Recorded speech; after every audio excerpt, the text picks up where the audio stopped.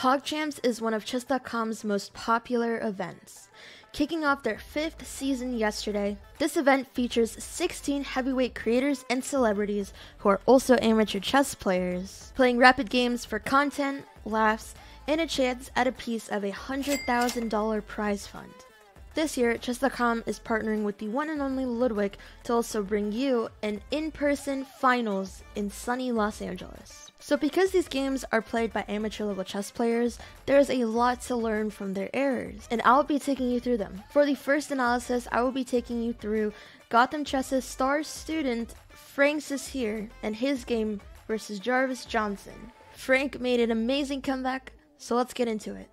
So Frank was playing black, and the two start off in not the most normal opening setup, but it's still playable. And on move 4, Frank decides to trade off his dark square bishop for the knights.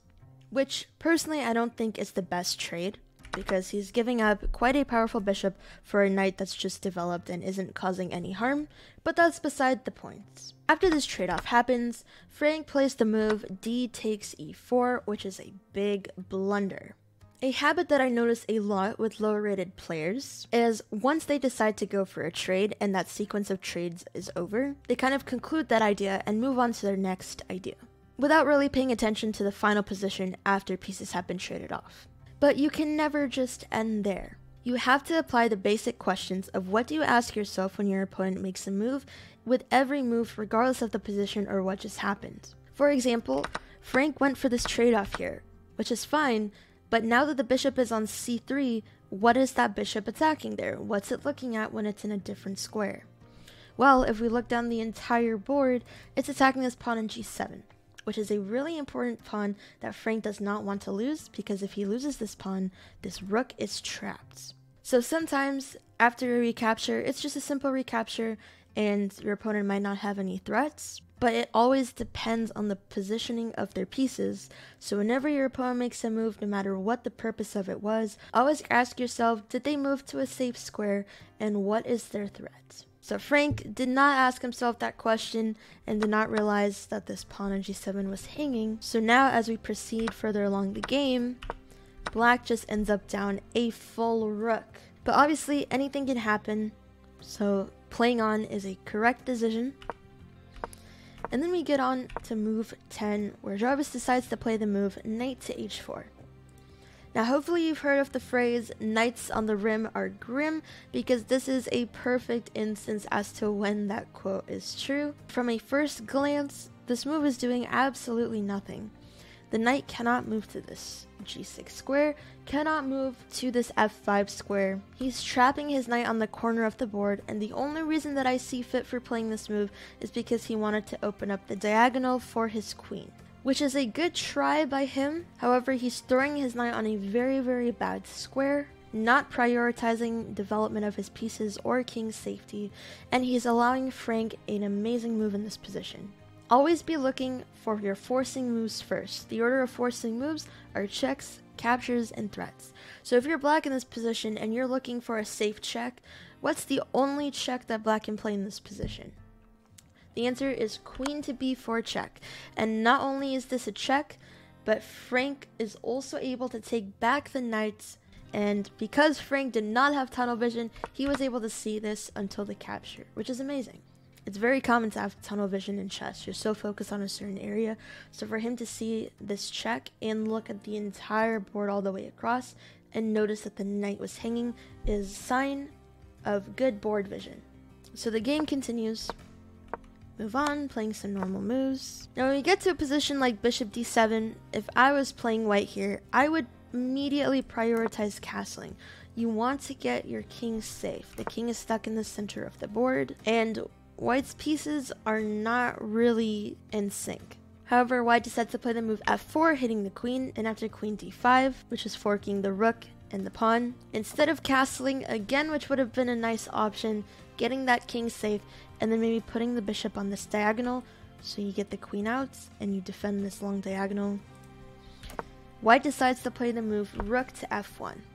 Now with this move, White's still continuing to break these basic principles, leaving the king in the center of the board, and now there's no option to castle on either side.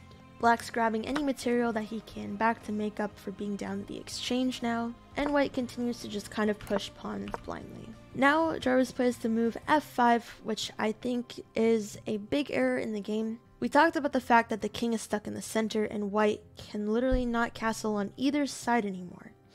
So when your king is stuck in the center of the board, the last thing you want to be doing is opening up the center of the board. Because black is castled, black's been getting back material, black's rook has easy access to this e-file the minute pawns are traded. So this is a big error for white, allowing this e-file to be open. This diagonal for the king is open, and there's no safe square for the king to lie on. And it only gets worse because after queen d5, white plays bishop to g4, which I understand this move is played to defend this pawn. However, it's opening up the king. And if we're weighing what's more important, it's more important to give up the pawn or find another way to defend this pawn than to play a move that defends the pawn while completely opening up the e-file and exposing white's king. Frank capitalizes on the opportunity, controls the e-file, and after the king moves, plays an amazing move, knight to d4, controlling a ton of squares around White's king, improving the positioning of his knights. This is an outpost. The knight has an outpost on d4, and White's king is basically just trapped. The bishop on h8 is trapped as well. This bishop on g4 is just stuck behind this pawn, and White's king is definitely in a lot of danger. White plays queen f4, and now it's kind of open season on White's king. Now, this is a good attempt on White because when they play queen a4, he's threatening checkmates. However, while they're threatening checkmates, they're allowing black to force a checkmate. Pause the video here to try to find the checkmate sequence. This isn't easy to find at their level. However, if you break it down move by move and you're just trying to find the forcing moves in a position, it might make it easier to find this sequence. So again, when we look for forcing moves, we look for checks first. Now if I scan the safe checks in the position, I come up with queen b3 check and I come up with bishop to a4 check. Now if I'm deciding which one do I want to calculate first, I'm probably going to lean more towards queen b3 check because it's a check with a stronger piece and I'm forking the king and the pawn at the same time. So if I play queen to b3 check, there's only one safe move for whites, which is to bring their king forward.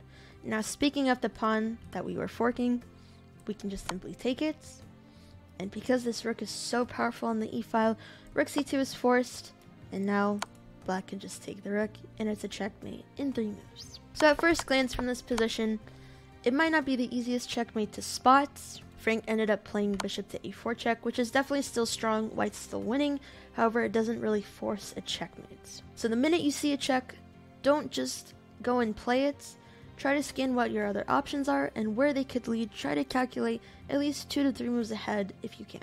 So even though this doesn't really force a checkmate, given the moves that Jarvis played, he did not hang on for long. So after a few moves here, Frank was able to checkmate his opponents. And overall, this was an amazing comeback for Frank. He was down an entire rook, but he was not blinded by tunnel vision and he spotted an amazing fork, allowing him to recapture the knight, which only made him down in exchange. Then he made sure to develop his pieces and get his king safe, and capitalized on his opponent's lack of development and exposing their king to start this really strong attack and eventually converting into a checkmate.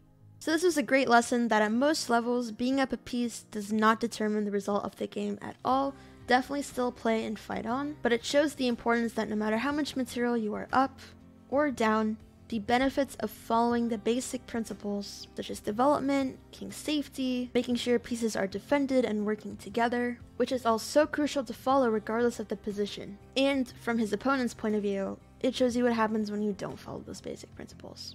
So I hope you guys enjoyed this analysis and let me know if you would like more. Bye bye.